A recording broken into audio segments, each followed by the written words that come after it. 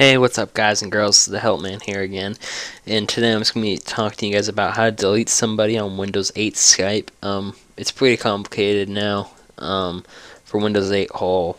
It's it's really weird, and they're on, now coming out with Windows 9, I don't get that. So, um, all you're going to do is go to your start, it's at the bottom left hand corner, right here, go there.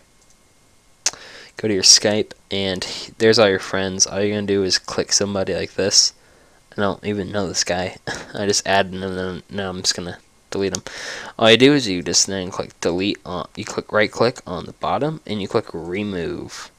You click remove this user and there we go. He's removed.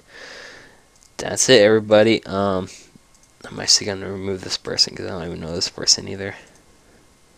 There we go.